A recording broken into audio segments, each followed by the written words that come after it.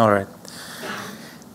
Well, so National Geographic, uh, this is our 125th anniversary this year. So we've been doing uh, information graphics, data visualization since 1888.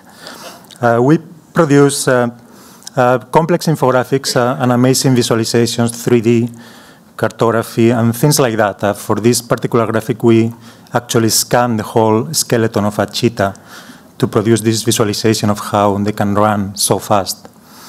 Uh, and we try to play with our pages and give space to information graphics. Uh, this is uh, Yosemite National Park. we have amazing photography and a three-page gatefold. And we produce this uh, visualization, this, you can call it a map or a diagram showing uh, the exact uh, path of every one of the climbing routes to this mountain, El, El Capitan. So in my opinion, this is also data visualization, of course. Uh, we have a very complex uh, process. Uh, a newspaper may spend one day, of course, and I know that because I have worked in newspapers most of my career, or maybe a week or two weeks in a complex graphic. We can spend sometimes over one year working on the same graphic. you can you should consider that, uh, for example, we know the lineup of stories in the magazine until the end of 2014, and of course that that will change. But we don't depend on breaking news. We analyze stories and we go more in depth. We don't really depend on breaking news, so we can work with plenty of time. Uh, that doesn't work. We're working just on one graphic. Uh, we're working on multiple projects at the same time. And the, the format, as I said, that we, we are not doing very much on the web. We will do a lot. If I come here in a year, I will show you a lot of examples. Um, but it doesn't matter. Uh, thoughts are bigger than the things that deliver them. And relevant stories are, are, are what matter. Uh, personally, I think most data visualization on the web is, is too abstract, is impenetrable, and lacks good editing. Uh, good, uh, you, you, see a lot of things like this, a lot of them. Uh, things that, uh, correct me if I'm wrong, no one really understands very well. and people say, well, that, that's amazing. This is a phrase from, a quote from Ben Fry. That's amazing even though I don't understand it. And how can, how can it be amazing if you don't understand it? That doesn't make any sense.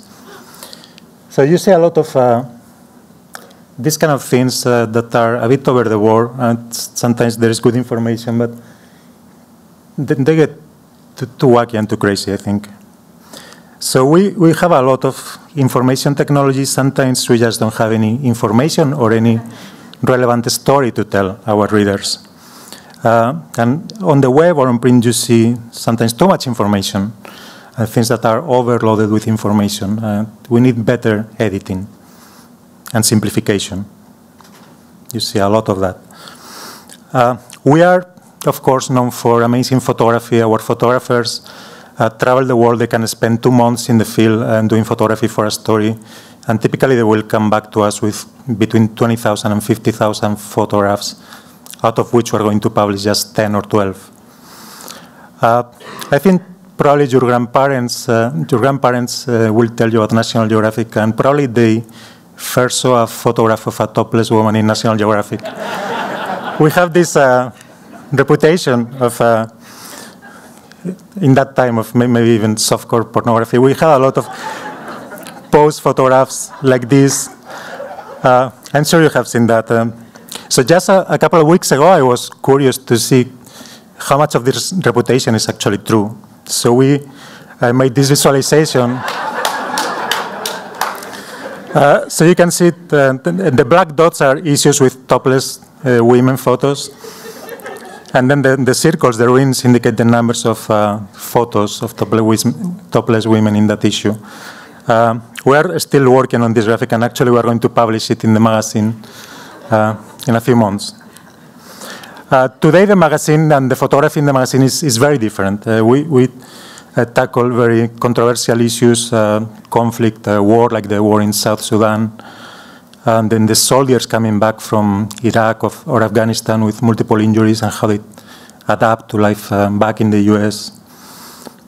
poaching of rhinos and elephants. So it's a very different magazine than the, the, magazine your grandparents uh, or your parents uh, read. Uh, and as I mentioned, we have been doing information graphics since our very first issue. These are, this is a chart an amount that appeared in our very first issue, 1888, uh, already in color. And the society, National Geographic Society, was founded by a group of 33 explorers and scientists, and that included Alexander Graham Bell, for instance, the, the inventor of the telephone, who was the second president of the society. And ever since the beginning, we have been doing information graphics and, and data visualization. Uh, for instance, this is a, a graphic published in, I think, 1893, and it's showing the increase of the total US population based on the census data uh, from the very first one, including the racial breakdown. And the first census in the US was in 1790, so include, uh, they included all the data for all those uh, census. Or this other one, published in 1905, is showing the immigration into the US uh, from all countries since 1820. Um, and has an amazing amount of data. And this is great uh, data visualization as well. You can see every country contributing immigrants to the country and, and also the total number. So even today, we go through these old issues uh, of National Geographic, trying to draw inspiration from them, and of course, from any kind of good visualization, like this uh, amazing uh, infographic by Charles Minard, and that is plotting the size of the army of, Nap of Napoleon when they tried to invade uh, Russia um, in the winter. You can see the thickness of the lines show how many soldiers uh, were traveling through Europe. He started with 400,000, and the black line indicates how many of them came back, uh, and at the end, only 12,000 were alive. Uh, so that's an amazing visualization, and it works in many levels. Uh, you can see also a temperature chart at the bottom, and it's also a map, obviously, a very simplified map. So over the years, we try to draw inspiration from, from everywhere, from this kind of information. This is a flow uh, chart published in the 1960s. And this is something very recent. This is a story showing, uh, we actually went to Astoria in New York, which is a neighborhood with a lot of uh, ethnic diversity, and we took DNA samples of uh, almost 200 people. Um, and then we tried to trace the path their ancestors follow since uh, we came out of Africa. Uh, we can know this because there are known mutations that appear in different places in the world, and those are present in all of us. So analyzing your DNA, we can know where your ancestor came from and what is the path they follow uh, through, through, through the earth. Uh, so you can see how people, their ancestors came back from the Middle East or from Asia, and these uh, four black lines are the specific uh, paths of those four people in the photographs. Uh, one thing that uh, distinguishes National Geographic from many other publications is every single thing we do is original research. It's research done by us in my department, uh, and we constantly talk to consultants, to experts, to scientists, uh, to create visualizations like, uh, for instance, like this one. This is, for this graphic, I, I went to China, I spent two weeks there, and these are the terracotta warriors. As you know, today they have lost all the colors, uh, but we, there are some traces of pigment in these uh, statues, and uh, scientists are analyzing those, and they, they, have a very good idea or a very precise idea of the colors of each of the, these statues. Uh, you can see it, seems a bit chaotic. The, the chaotic, the colors of the uniforms are very different. That's because they brought their uniforms from home, actually. Um, what is uh, better organized is the, the armor, the kind of weapons they had. And there are 6,000 soldiers in this pit, and we were able to reconstruct uh, a, a very good representation of the actual colors.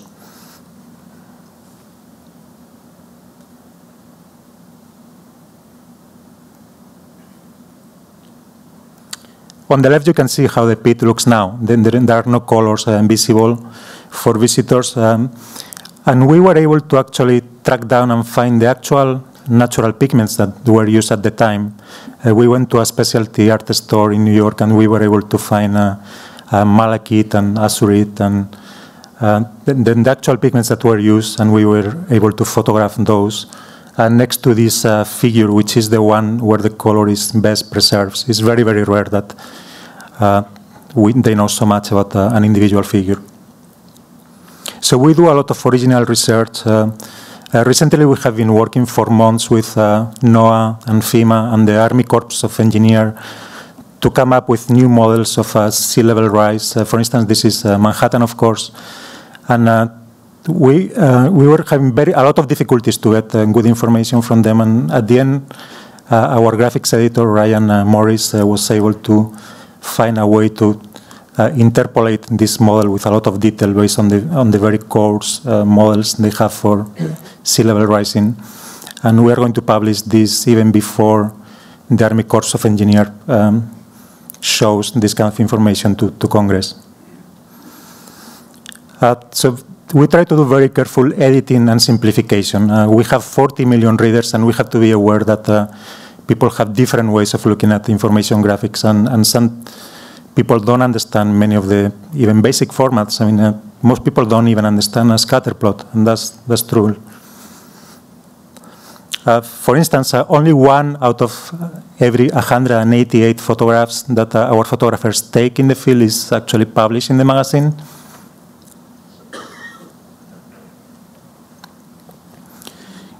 And of course, there are, there are occasions where more is more. Uh, for, for instance, for a reference map or, a, or an atlas plate, uh, you want to put as much information as, as you want, town names and river names, and geographic locations. And this is a map published, I think, in 1941, and it's showing um, all, the all the boundaries in Europe um, by the time that Germany invaded uh, Czechoslovakia. Uh, so this map was so detailed that uh, it was actually used by the U.S. military and the allies uh, in the field in Belgium, in France, and then they were they posted thousands of these for the soldiers uh, because they have every road, and they were it was far better than anything the government had in this occasion. And actually, this map was also used after the war uh, by the president and the, allies to, to actually divide Europe and to, to, trace new boundaries. And they had multiple copies of this National Geographic map, and that's the one that they annotated and used extensively, and they had to order new copies from us. Uh, so, so sometimes more is more. Uh, for instance, we also published this uh, supplement recently about the Civil War. And there are so many Civil War um, buffs out there, people that know every single detail about the war, that uh, we wanted to cater to them. This is a uh, map showing the path of two regiments leading up to the Gettysburg uh, battle.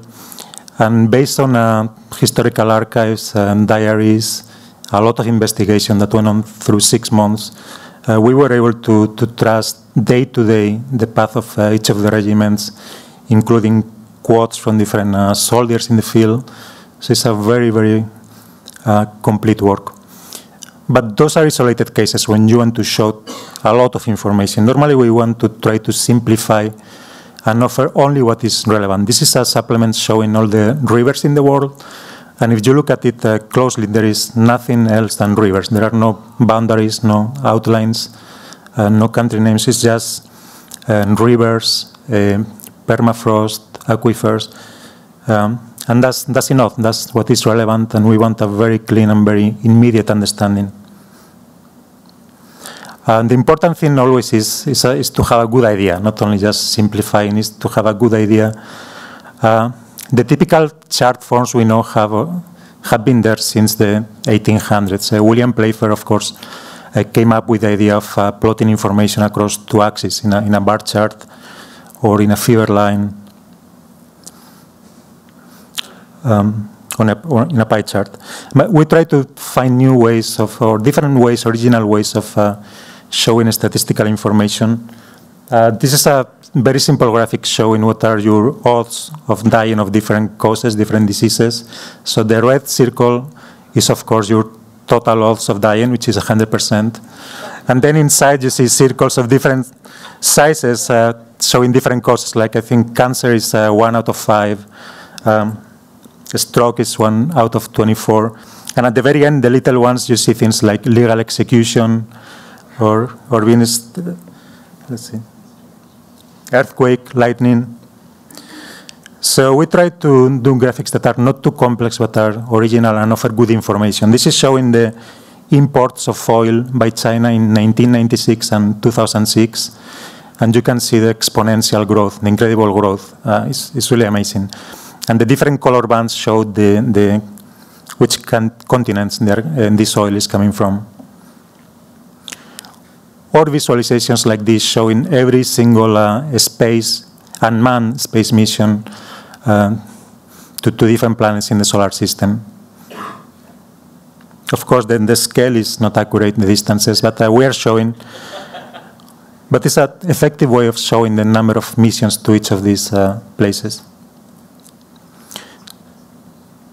So it's important to come up with original ways of displaying uh, statistical and cartographic information like uh, cartograms is something we use sometimes where you distort the shape of uh, countries to, to show uh, geographic, uh, geographically relevant information. For example, we are showing here the population on, of the world, so the different country shapes are distorted to show that. And next to it, we show consumption in the world. So it's something very effective, uh, even at an emotional level, you can see and then the amazing difference. Uh, this is from a, a Portuguese uh, magazine. Uh, it's also a graphic that is not exact, that it has a, a, lot of impact, even at an emotional level, as I said. Is uh, the red represents people in favor of the war in Iraq, white is people against the war, and blue is people that don't know where Iraq is. So cartography and graphics with impact. This is a, uh, during the earthquake in Haiti, there was a crowdsourcing movement to, to map uh, places that were uh, where there were no good maps available, and first responders found a lot of difficulty. And uh, thanks to OpenStreetMap and, and people collaborating in these maps, uh, they were able to quickly locate uh, so many locations and, and, and places to, to get food, etc. Uh, as I said before, we have uh, 40 million readers. We publish uh, 5 million copies of the print magazine in the US and 1 more million uh, in our international editions. Um, and of course, we have uh, young readers, uh, mostly for our digital editions, but many of our readers are, are like this. And the average reader of the a reader of National Geographic or, or the New York Times is close to 60 year old. And, and very often, to be honest, we lose subscriptions just because, because people die.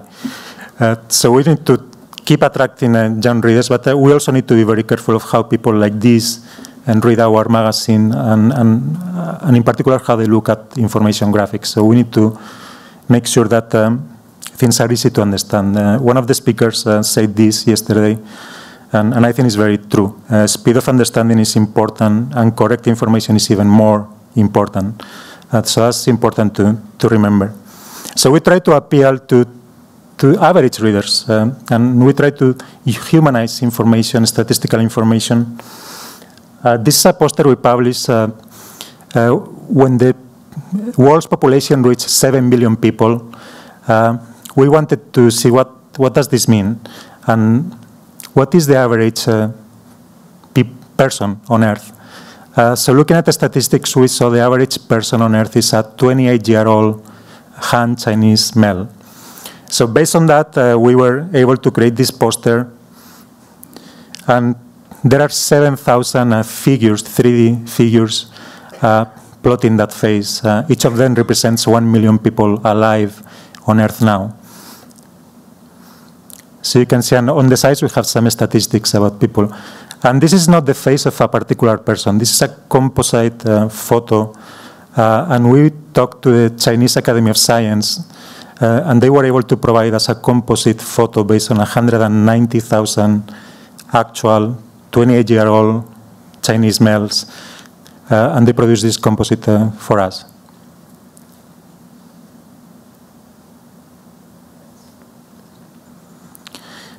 So we look at data visualization uh, beyond charts. I mean, you, most of the data visualization uh, you guys are doing is, is, of course, based on, on charts, cartography, but uh, we look at, uh, well, probably this is a particularly difficult to understand example, but we look at uh, ways to display data that are very different. For instance, this is data visualization. Uh, this is a reconstruction we did of, of a female Neanderthal, and it's extremely ac accurate. Every single uh, bone is based on actual fossils. Um, this is the original uh, Neanderthal fossil found in Germany last century. And uh, a couple of years ago, we wanted to create a new reconstruction because there was new genetic evidence on Neanderthals. The DNA of Neanderthal was being and decoded, and there were there was new evidence.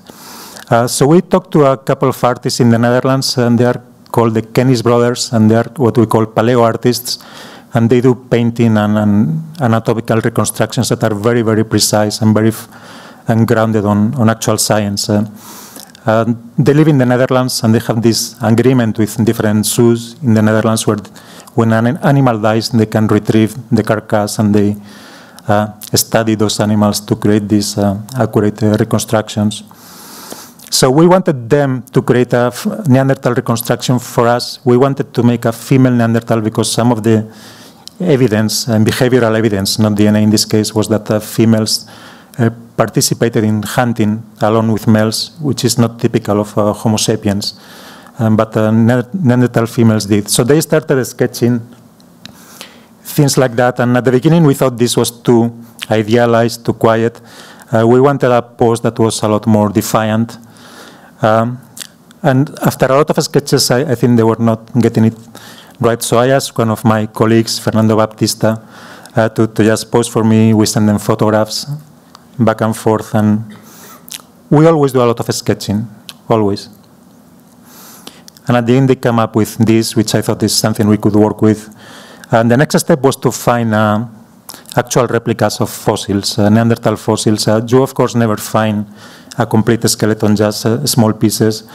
So through this company, we were able to find part of a thorax, for instance, and this is where the different uh, parts of that thorax come from, what uh, actual fossils. So it's a very, very accurate reconstruction. Uh, in this company, which is called Bones and Clones, you can, if you want, you can buy a carrying case for a human skull.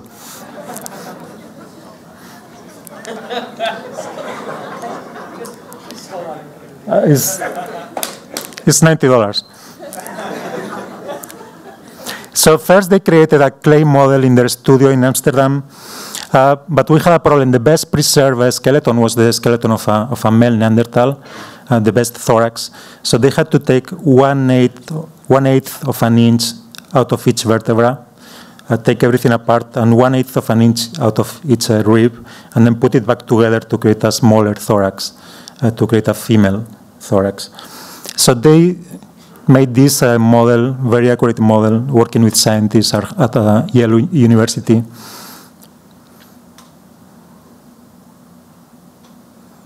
Then they fix the pose with iron bars. And the next step, they um, that all that work in the skeleton that took over two months uh, is never going to be seen by anyone. That's just to give you the right body proportions. Uh, then they reconstruct the layer muscles with clay. And at the end, they create a, a cast, and the final uh, reconstruction is made of silicone. This is almost finished here. We, we call her Wilma, by the way. And you can see that the characteristic anatomy of Neanderthals here are like a very protruding mid-face, the receding chin, the very prominent eyebrow, and they're, they're different from Homo sapiens. So all this work of uh, six months uh, just to have three photographs in a, in a story. And this illustrates, and this is by a different paleo artist, uh, John Gurche, this illustrates a bit of the process of reconstructing the face, where they have to build every single uh, muscle layer. And you see this uh, different thickness uh, squares, that indicates the thickness of the skin in different parts of the face, like the forehead is very thin, the cheeks are uh, thicker. So based on that, they, they create something like this. So it's very grounded on, on science.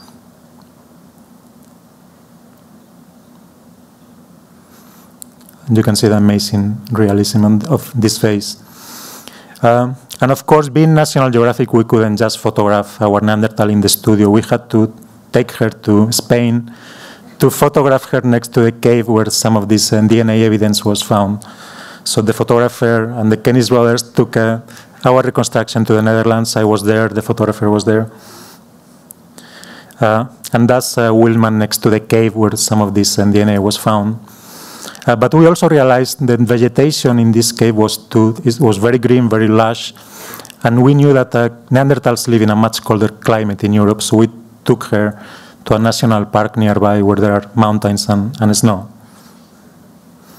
And we also took uh, some photographs. This uh, lady, for, for scale comparison, and this lady lives in the farm that is on top of the cave. So we photographed both of them together to have uh, some facial comparison. That, that didn't work. and we also had an information graphic uh, comparing the uh, female human skeleton with a Neanderthal skeleton. Uh, and th these are the Kennis brothers, uh, two twin brothers in the Netherlands with an amazing knowledge of uh, anatomy and fossils. Uh, so I say this is data visualization because every single measurement in that model is, is grounded on science. And they are also amazing painters, and you never know which one of the brothers is actually painting one part of a, a painting or, or, another. And to do this, they also construct uh, clay models just to have them the right proportions. And this is an illustration by Fernando Baptista, one of our senior graphics editors, showing the anatomy of lions. So we use a lot of these reconstructions and by paleo artists. This is also by John Gurche, and you can see the amazing realism and that very true expression in the in the face. Or things like this reconstruction of a crocodile and that lived 110 million years ago. This is a clay model, and later on we just applied some Photoshop on it. And we do the same with uh, 3D diagrams that we also consider data visualization. This is a reconstruction of the uh, sinking of Titanic that we did uh, a couple of years ago. Uh, you have probably seen graphics very similar to this for years. Um, but uh, we work with uh, James Cameron, and James Cameron gathered a team of scientists and engineers to create a new theory of how Titanic sank. So we spent also several months working with him and his team of engineers, and they developed this new model of uh, how every single piece uh, broke, how what rotation it had when it fell. So it was a very, very complicated thing to do. Even at the end, it looks like an illustration that uh, you could uh, almost make up in, in little time. Uh, this is one of uh, at least 50 emails uh, from James Cameron. He's, he's particularly difficult to work with, actually, uh, giving us corrections and, and, comments about this model.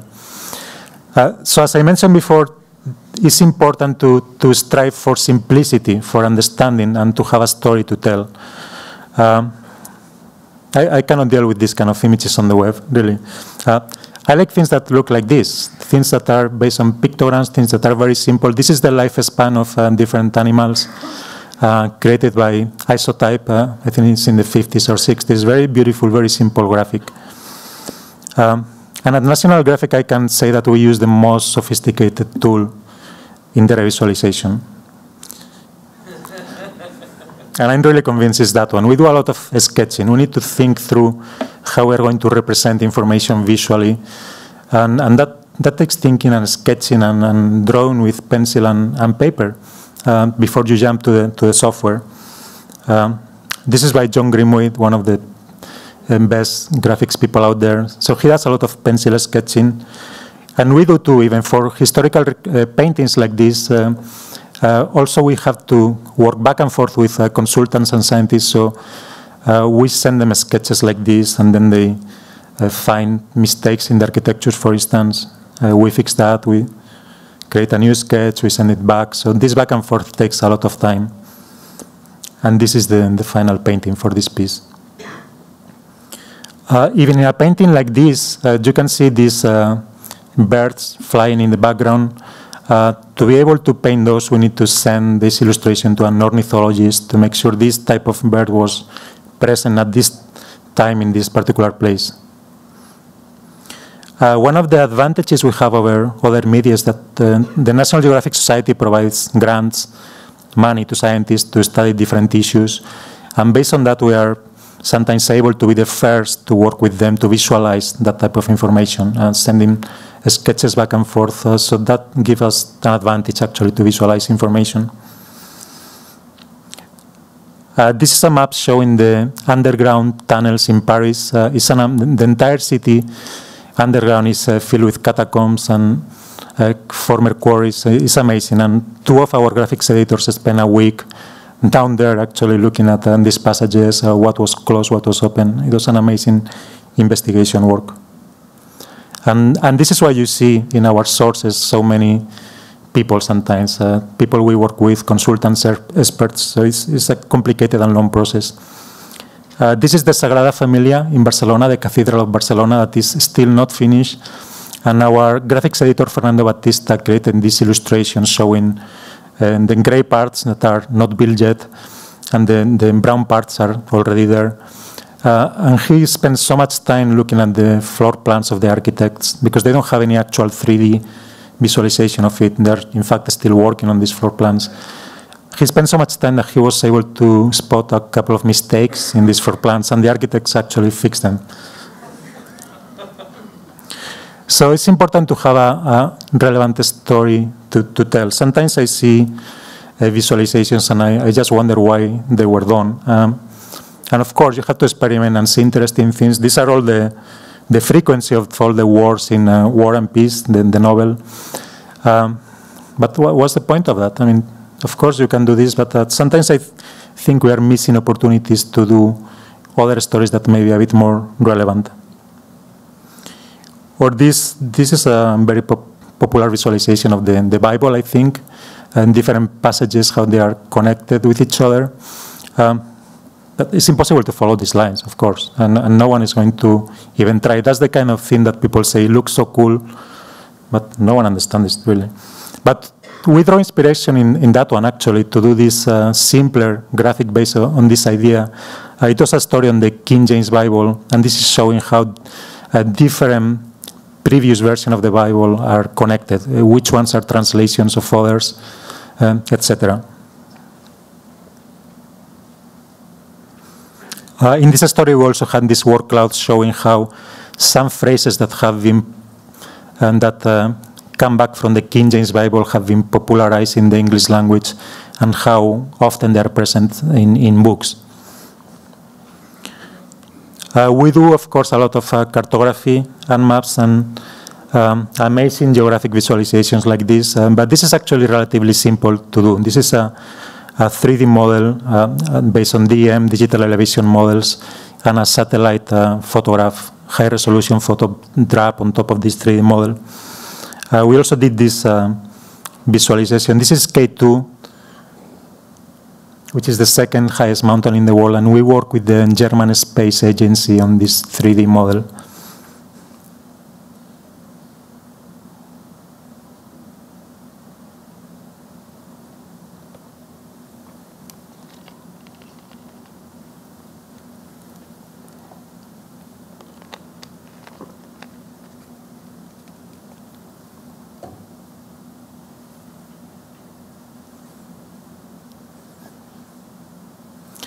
But I'm, I'm more interested in cartography that is where information is revealed. Uh, we show thematic uh, maps, uh, we show data in maps um, to try to reveal patterns that are not immediately apparent. This is a very famous map uh, from John Snow in 1854, I think.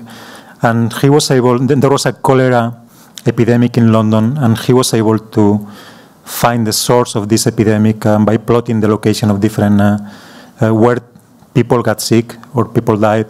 And he was able to trace the origin of this epidemic to this particular uh, fountain, to this uh, water well in the city.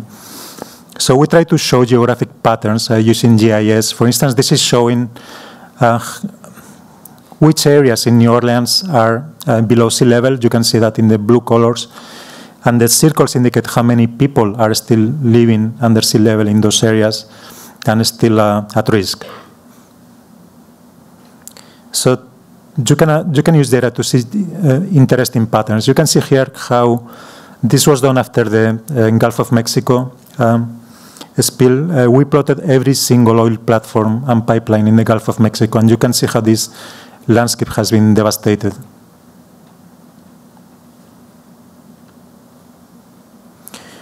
This is the landscape of uh, northwest North Dakota. You know that there is an oil boom going on, fracking natural gas. Uh, And the way this landscape is being transformed is amazing also. You can see also more than 3,000 uh, oil wells and that in this landscape. And you can see also how they overlap with different aquifers in the area, uh, with the risk being that uh, some of these may find their way into the, into the water table. And this is a 3D graphic showing how fracking works. Uh, for, this, for this particular story, we did one of the first uh, animations for the web and the iPad. And I'm going to show you. Shale formations underlie much Oh. of the United States. They are the And it's um,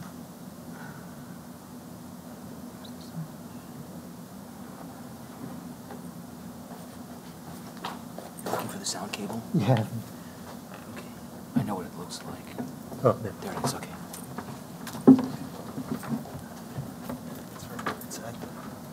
It's this corner one. There you go. Oh, that's the one. Yeah. Sorry. Don't start yet. I want to turn the one.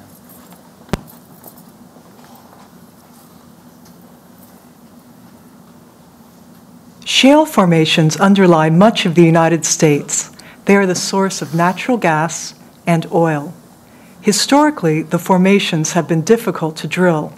Today, it's possible with the technology of fracking. In North Dakota's Bakken Formation, fracking started in 2006. Nearly 8,000 active wells now dot the landscape. Deep underground, horizontal pipes stretch up to two miles long. The Iverson well, drilled in 2010, illustrates the fracking process. The well plunges nearly two miles down with cement and steel casing inserted to prevent leaks into groundwater. The well curves when it reaches the Bakken, layers of shale that sandwich a layer of sandstone. The pipe follows the sandstone because that's where shale oil collects. Fracking begins by forcing plastic balls down the well. The balls open sleeves in the pipe to expose holes. Fluid is then pumped down the well under extremely high pressure. The fluid shoots through the holes and fractures the rock. Over the course of three days, this well fracked the rock 29 times. The bursts show where fissures were created. You see, well, actually, um, these uh, explosions you see, those are actual representations of them. They're based on seismic um, data, uh, so they're not just uh, lines drawn there.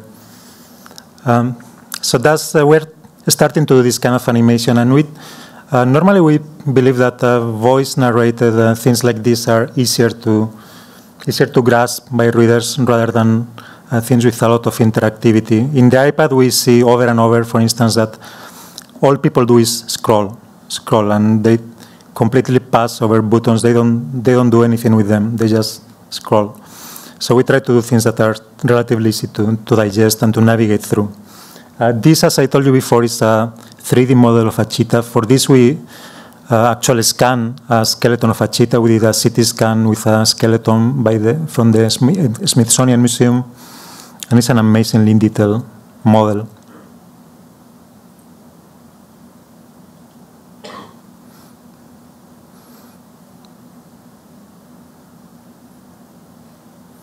And then we use we animated this skeleton uh, on top of a slow motion video of a cheetah for the iPad.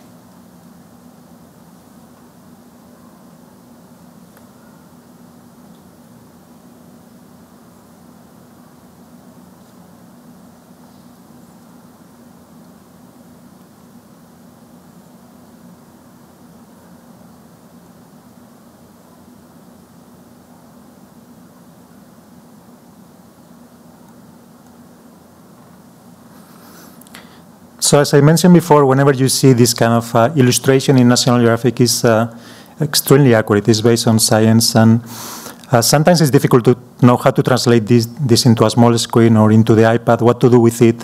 Uh, so we come up with all sorts of ideas. In this particular case, we explain uh, through a video how this model was created. Uh, this is uh, Göbekli Tepe in Turkey, which is one of the first religious temples in the world.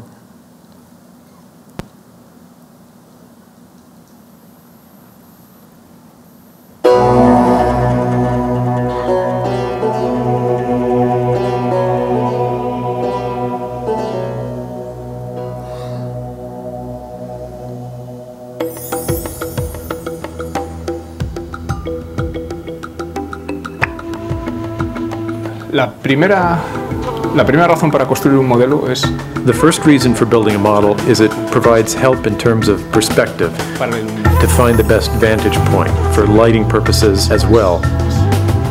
It's having a 3D reconstruction, but real, one that you can move and seek out all the proper perspectives by elevating or lowering them.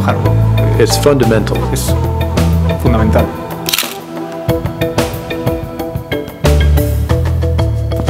Lo más emocionante de todo fue The most exciting thing was going into one of the circles where the central pillars are, stand in the middle and look up to see how high they were. It's something special being at this site and imagining how it could have been almost 12,000 years ago. El tema de Göbekli era Göbekli is a beautiful story. It was the first temple in the world, the birthplace of religion. It carries with it a certain mysticism that sparks the question, why? Everything was questioned to the archaeologist Klaus, but why did they build these shapes? It's a thread of questions, the offerings. At the end, it's like a puzzle, an architectural puzzle, a puzzle of knowledge with the remains they've found. And in the end, what we do is put the pieces together and make a Una representación de recreation. cómo podía haber sido en aquella época, ¿no?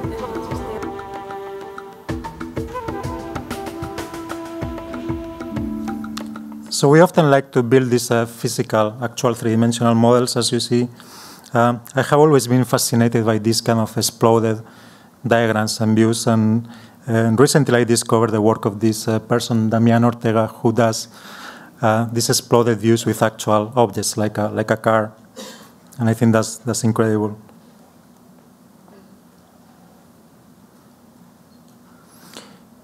Or this other very simple visualization. The average car produces 20 pounds of carbon dioxide in a day.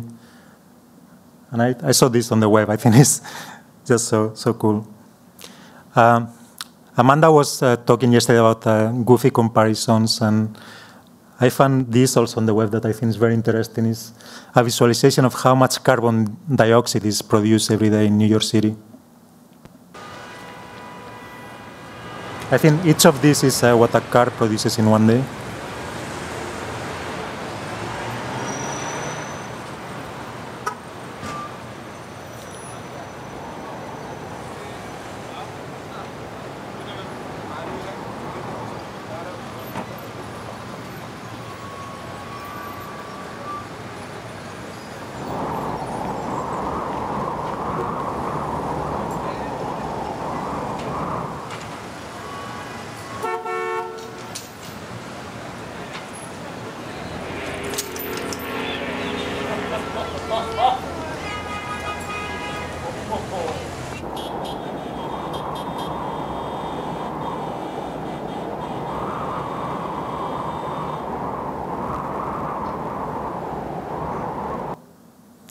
Is amazing. Um, I'm going to jump forward a little bit, actually, because otherwise I'm not going to have time. Just to tell you a little bit about what we are doing um, right now on the on the iPad, on the, on the iPhone, actually. Uh, more and more people are looking at, uh, at graphics and are, are getting their information primarily on their smartphones. Uh, so we have an iPhone edition where uh, we are trying to show information graphics, and it's, it's, it's very difficult. I mean, because we do complex graphics, how to translate that to, to the iPhone. Uh, so we have an application. We have uh, our stories are read with voice by the authors, so that's something you can listen to during your commute. Uh, we animate the covers.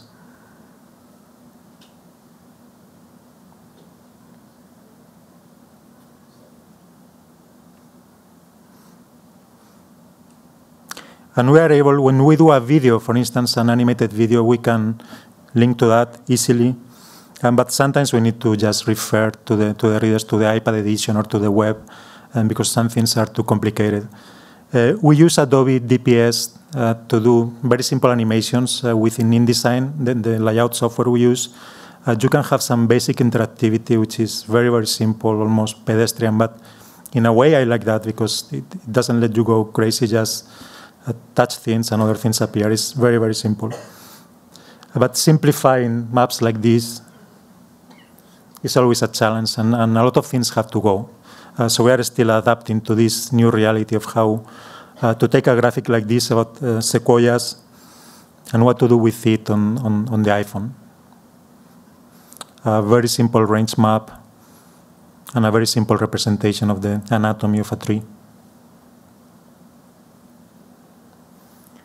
Or this other map about uh, poaching of elephants and the traffic of elephant, uh, elephants to, to Asia. This is also redesigned completely to give a very simple, very different experience on the, on the iPhone.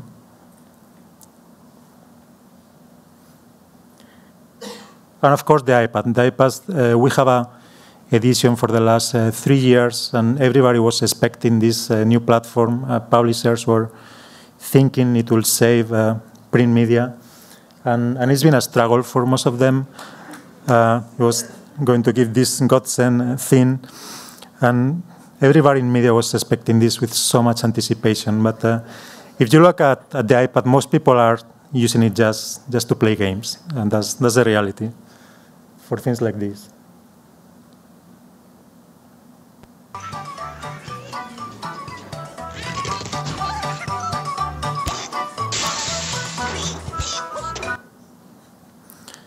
It's a great game, by the way. Um, and publishers have had the problem of Apple uh, uh, requesting or wanting a 30%, 30% uh, of the revenue. So for most publishers, uh, Apple is something like this.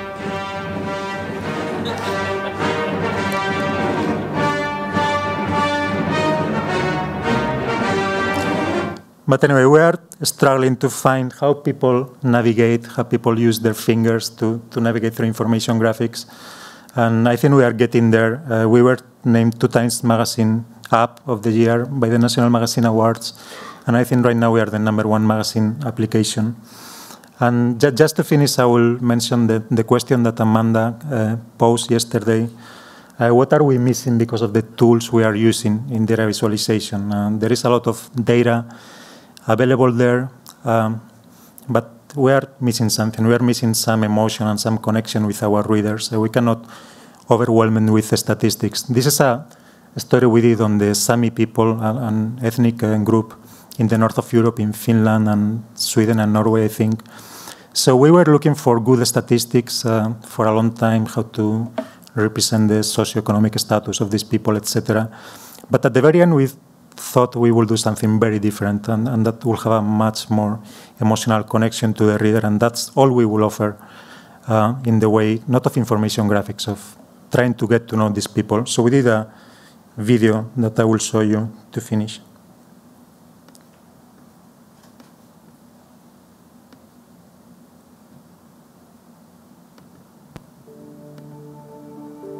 Oops.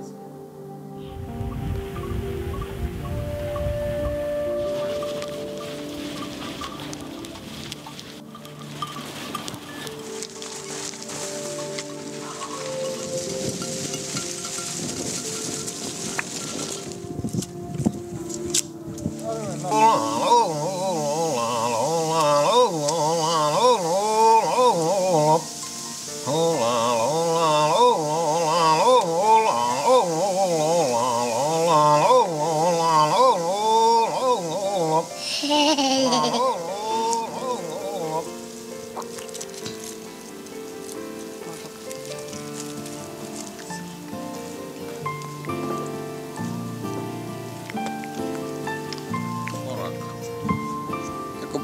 kohtakalti maalalla karasta lahtuutta.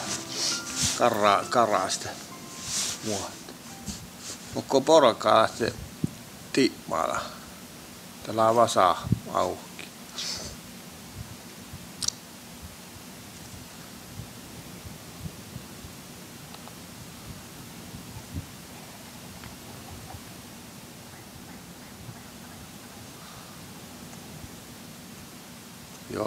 Joo, ei mun täällä tietää. Saulu. Ja po... Lähdette uudempi vähän uinnasta.